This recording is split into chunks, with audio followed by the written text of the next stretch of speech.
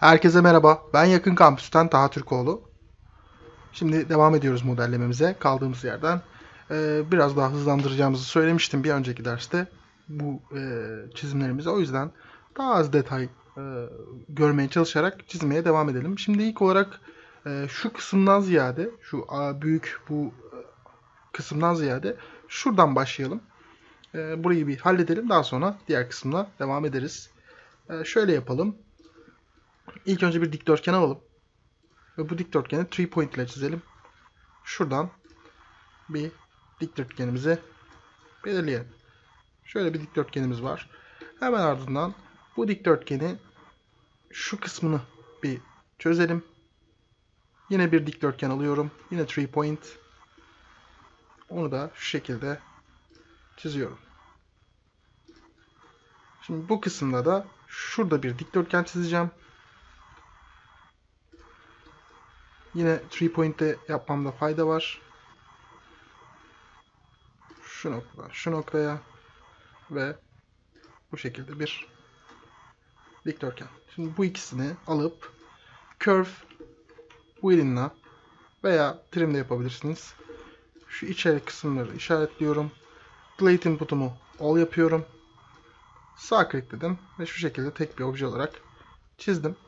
Ee, bir de ucuna şöyle bir dikdörtgen gelecek. Daha doğrusu e, çember gelecek. Ama o çemberi çizmek yerine şöyle bir şey yapacağım. Bunu midinden yakalayıp şu şekilde bu e, şu an perpendicularını yakaladı. Çünkü perpendicularım açık e, ve şu noktayı da işaretlediğim için buna dik olarak şöyle bir çizgi çizeceğim.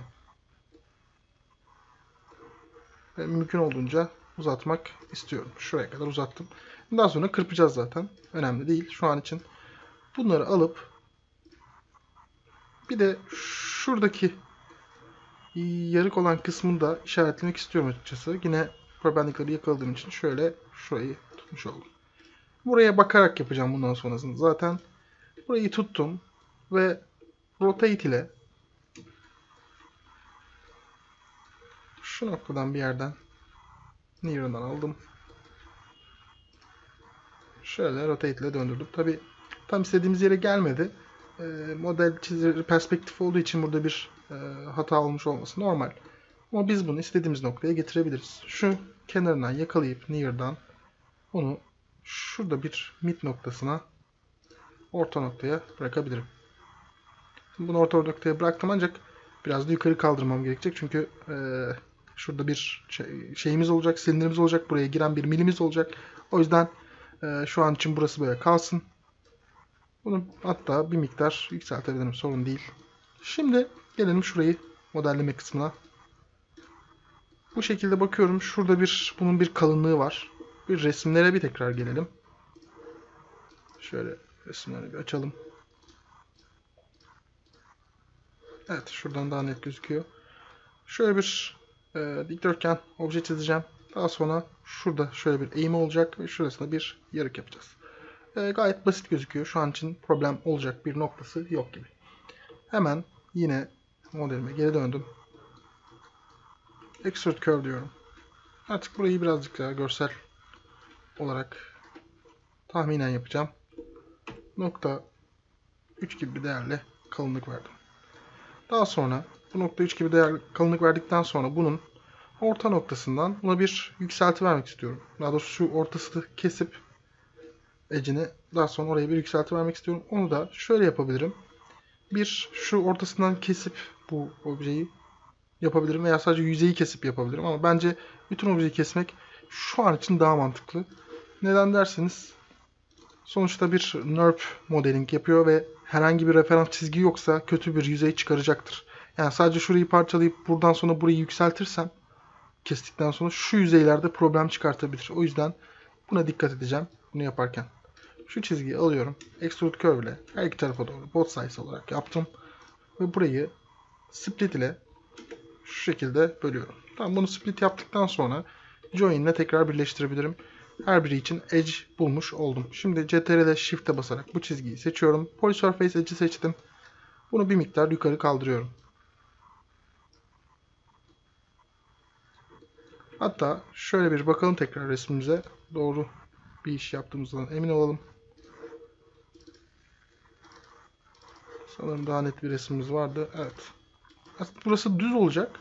Aşağı kısmı burası birazcık eee şey- şeyde olacak. Eğimli olacak. O yüzden e, o çizgiyi seçmek yerine şöyle bir şey yapabilirim. Bu yüzeyi seçip bunu biraz yükseltebilirim. Şu şekilde.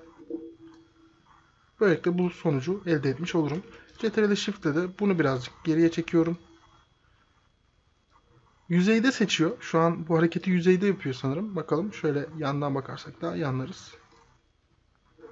Ha yok gayet World'te. World ekseninde yapıyor. O yüzden bir sorun. Ctrl Shift'e basıyorum. Bunu e, şuradaki beyaz gumballo'umuzun beyaz olan çemberine tıkladıktan sonra Align to Object dersem bunu daha doğru yapacağım. Şimdi mesela direkt bu şeyin üstünde yapmış oluyorum. Hamlemi.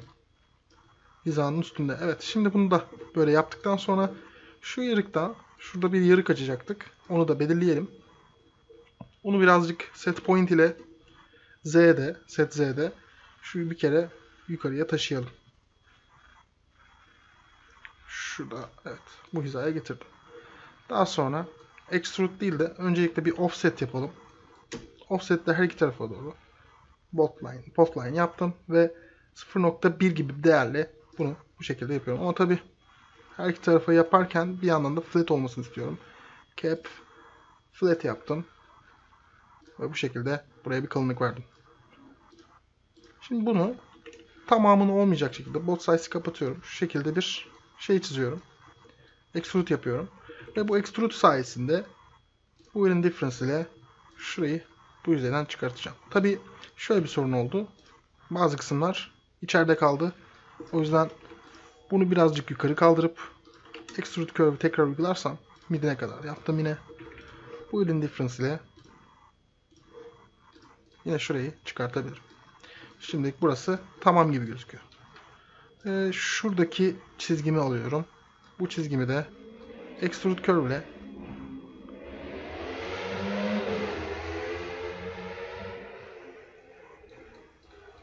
bu çizgimi de extrude curve ile şu orta noktasına kadar değil de biraz daha yukarısına kadar şöyle kaldırdım. Burası da tamam gibi gözüküyor. Ve burayı da şurasıyla bu elin union yapabilirim artık. Burayı birleştirebilirim. Şimdi fill e, yapma kısmına geçebiliriz. E, geçmeden evvel tabii şurası da var. Şu parçayı da yapalım. Hemen hızlı bir şekilde. E, bunu tabii şuradayken çizmediğimiz için bir miktar görsel olarak çizmek zorundayım. Şöyle bir parça.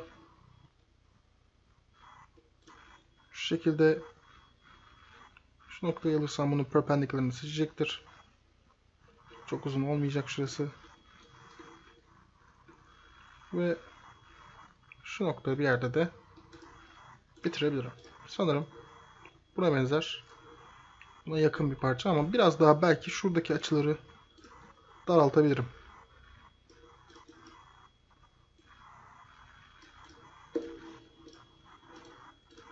Şu noktayı alıyorum. Move ile bunu birazcık daha daralttım. Sanırım bu halde daha iyi olacak. Fillet diyorum. Direkt düz olarak fillet diyorum. Edge değil. Ee, şu arayı yumuşatacağım. Tabi şöyle bir durum var. Burası birazcık daha küçük bir değer olmalı. 0.05 değil de 0.03 yapalım. Daha rahat yumuşatalım. Aynısını buraya da gerçekleştireceğim. Ve bir miktarda aslında şunu da yapmakta fayda var.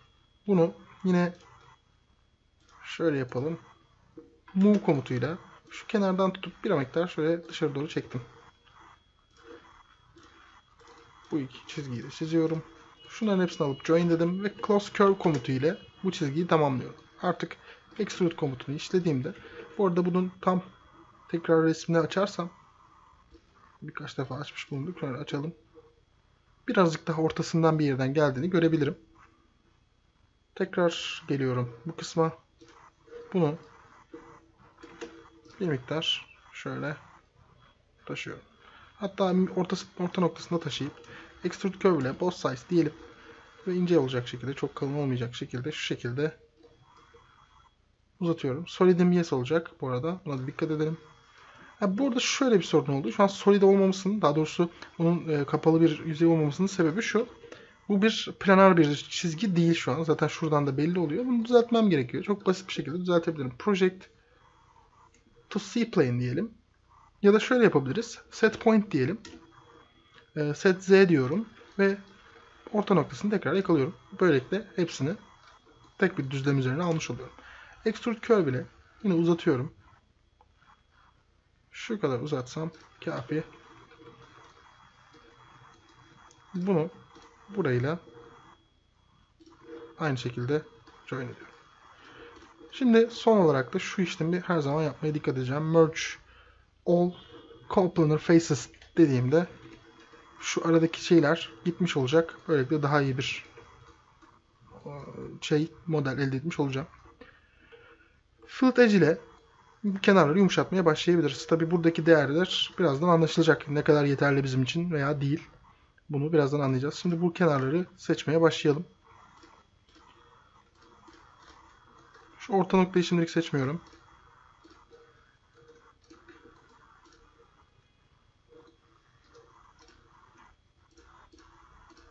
Bunları seçeceğim.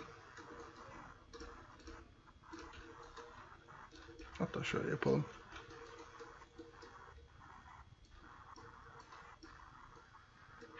Şu arkadakileri tabi seçmeyeceğim. Bunları çıkartalım seçimimizden. CTRL'ye basarsam seçimden çıkarıyordum. Başka bir yerde bir seçim olmasın özellikle. Sadece bu yüzeylerde olsun istiyorum.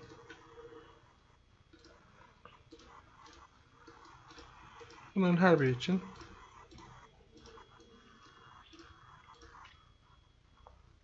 şu şekilde seçimlerimi yapacağım.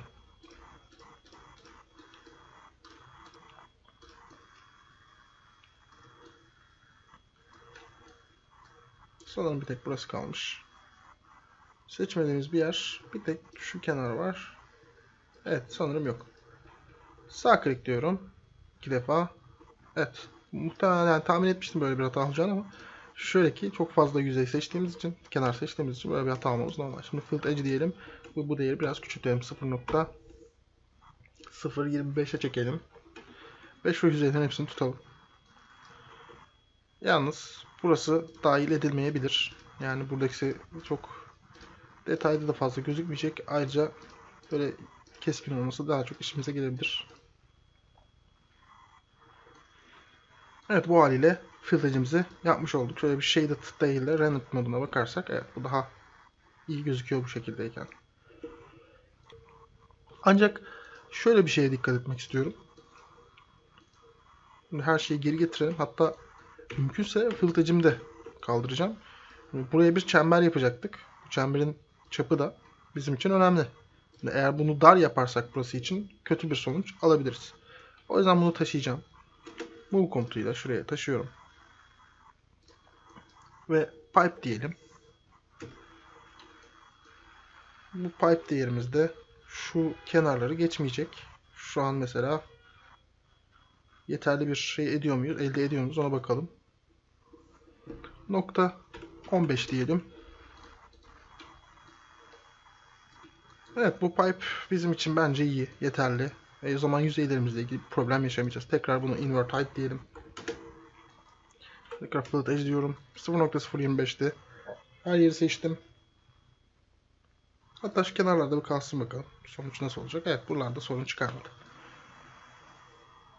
Ama bu haliyle kullanabiliriz.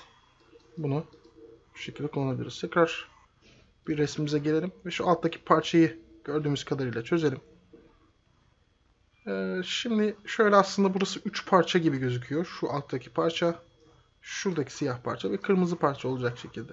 O yüzden bunu yaparken dikkat edeceğimiz şey bu. Şimdi şu parçayı yaparken birkaç tane hiza almam gereken yer olabilir. Özellikle şurada e, şöyle resme bakalım. Evet şu parça siyah olan parça buna açılı bir şekilde gelmiş buraya oturmuş bir şekilde duruyor. Ee, aynı buradaki gibi ama biraz içeride kalmış anladığım kadarıyla ve içeri doğru şöyle bir form var. Hemen ona göre bir şey çizelim. Biraz içeride kalmışsa şuradaki noktayı alabilirim aslında. Bununla ilgili sorun olmaz. Hatta bu açıyı almak açısından da şuradaki çizgiyi de duplicate edge ile aldım. Ee, duplicate edge komutunu biliyorsunuz zaten. Dup edge. Ben bunu kısa yola atadığım için DE deyip enter diyorum. O yüzden böyle kafanız karışmasın. Move komutuyla şuraya orta noktasına taşıdım. Tabi bu bu kadar kalın olmayabilir. Evet, yine şu resme bakarsak evet bu biraz daha ince bir obje olabilir aslında. Sırf scale edelim. Bu şu köşeden yakaladım. Şuraya. Şöyle 0.3 olacak şekilde kısaltıyorum. Sanırım bunu kullanabilirim. Daha sonra bunu extrude curve ile direction'ımı şöyle yapalım. Şu şekilde uzatıyorum. Ve şu yüzeyini e, uzatacağım. Extrude surface diyorum. Duplicate edge dedim. Pardon. Direction'ımı değiştiriyorum. Kafamız karışmasın. Tekrar diyorum. Extrude surface dedim. Şuradan Direction'ımı değiştiriyorum. Direction'ımı da bunun açısında yapmam doğru olacak. O yüzden şuradan alttan bir çizgi seçip bunun near'ından devam edersem rahatlıkla yapabilirim. Bunu uzatacağım. Ne kadar uzatacağımı şöyle bir bakalım. Evet bunu bayağı ortasına kadar uzatacağız. Şu kadar uzatıyorum. Eğer bunu biraz daha boyunu scale etmek istersem de yani burada gerçi yok gayet güzel. Parçayı bu şekilde kullanabiliriz. Ee, bu tamam bence. Fillet daha sonra ekleyeceğim. Daha sonra şu kırmızı parçayı ekleyelim. Bunu daha düz olacak şekilde yapacağız. Pardon. Bu daha burası düz olacak ve daha sonra şurada arkasında böyle bir parça olacak ve tamamı şu yaptığımız parçanın parçayı tamamlayacak. Buna dikkat edeceğiz. Duplicate edge diyelim. Yine bu kenara aldım. Extrude curve ile both size diyorum yine. Both size kaldırdım daha doğrusu. Burada 0.3 gibi bir değerle yine bunu yapacağım ama eksi 0.3 yapmam lazım. Burada yukarı doğru yapmasını istemiyorum. Ve extrude surface ile şöyle bunu orta noktasına kadar uzattım. Ee, arkasında bir parça daha olacak bunun. Böyle gözüküyor en azından. Evet. Bu da şöyle bir parça olabilir. Şöyle yapıyorum. CTRL C, CTRL V dedim. Kopyaladım. Bunu da buraya getirip bıraktım. Tabi bu parçanın da şu kısmı bununla hizalı olması gerekecek. O yüzden şu çizgiyi çekiyorum şuraya. Hatta şöyle yapalım. Buraya bir çizgi çizdim. Extend diyorum. Extend'i uzatacağım. Bu noktaya kadar çeksin. Ve daha sonra bunu CTRL Shift ile seçiyorum bu kenarı. Bu noktadan alıp şu noktayı bırakıyorum. Burayı böyle modellemiş olduk ve şu parçaları bir kere filtreci yaptığımızda birbirlerine ayrık olarak duracaklarını zaten tahmin ediyorum. Yani o yüzden burada bunları hep bitişik olarak yaptım. E, ayrık olarak duracaklarını bildiğim için o şekilde yapacağım. Filtreci diyelim hatta. Ondan önce de şurada bir parçamızı tekrar incelemek istiyorum. Evet şurada bir girinti çıkıntı var açıkçası. Onu da ekleyelim. Yani kötü gözükmesin. Eğer gözümüze çarpmasın daha sonra bu parçası. O yüzden şöyle bir şey yapalım. Burada ya oluşturduğumuz bir çizgi vardı. Bunu bir silelim. Duplicate edge diyorum. Bu kenara aldım. Yine bunu bir kere şu taşırken move diyelim. Move'la bir miktar şöyle taşıyacağım. Near'a bırakıyorum. Ve şunu midinden yakalayıp bunu midine bıraktım. Şimdi burayı alıp Ctrl T deyip şuradaki fazlalığı sildim. Burada şöyle bir iki tane çizgimiz oldu. Join ile birleştiriyorum. Extrude curve ile uzattım. Bir miktar içeri pardon. Şöyle kendi ekseninde olmasına dikkat edin. Çünkü şu an biz şeyde çalışmıyoruz. E, düzlemde çalışmıyoruz. Buna dikkat edin. Sağa sola kaydırırken e, bunu düzeltmenin yolunda daha, daha önce söylemiştim zaten. Şu beyaz yuvarlağı seçerseniz align, align to object yaparsanız bunu objenin merkezine göre düzenleyecektir. Objenin baktığı yöne doğru düzenleyecektir. O yüzden bunu bu şekilde yapabilirsiniz. Şu maviden alıp bir miktar geriye çekelim. Ve şu parçayı şurada Boolean split ile Boolean to objects demiş. Bununla e, şey yapalım. Birbirinden ayıralım. Şöyle yapıyorum. Bunu seçtim. Ve bunu seçtim. Sağ klik diyorum. Bakın bu parça ve bu parça birbirinden ayrıldı. Artık bunları ayrı olarak kullanabilirim. Şunları join ediyorum. Pardon join diyorum. Boolean, Boolean union yapıyorum ve az sonra bir de ne yapıyorduk? Her zaman gibi merge yapıyorduk. Merge'imizi yaptık. Şimdi parçalarımıza field edge verebiliriz. Bir field edge vereceğimiz hepsine de aslında aynı field edge'i verebiliriz. Şunu gizleyelim. Ve field edge diyelim. Şimdi mesela şu anki elimizdeki 0.025 değeriyle yaptığımızda nasıl olacak? Fena olmadı aslında bu değer kullanılabilir. Yani hızlı bir şekilde yapmak istediğim için dediğim gibi az önce daha önce söylediğim gibi çok fazla artık detaya girmeden daha hızlı bir şekilde yapmaya Eğer detaylı çalışmak isterseniz zaten yöntemlerden hep bahsetmiş olduk önceki derslerde. Şimdi bu burada mesela plastik kırmızı diyelim. Buna bir materyal verelim. Change object layer dedik.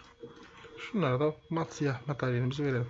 Ya bunları doğru emin değilim yani mat siyah mı parlak siyah mı bakmadan verdim ama sonuçta sonuçta farklı tip renk, e, malzeme olduklarını bildiğim için ayırmakta fayda var. Şimdi bu haliyle sanırım tamam. E bu kısmımız bitmiş oldu. E, bir sonraki derste de şu tarafı modelleyeceğiz. Ve orayı modelledikten sonra da son olarak detaylarımızı girip e, modelleme kısmımızı bitireceğiz. Bu dersimizin de sonuna geldik. Videoyu faydalı bulduysanız beğen butonuna, kanalımızı takip etmek içinse abone ol butonuna tıklayabilirsiniz. Sorularınız varsa yakunkampüs.com'dan bize ulaştırabilirsiniz. Teşekkürler. Bir sonraki dersimizde görüşmek üzere.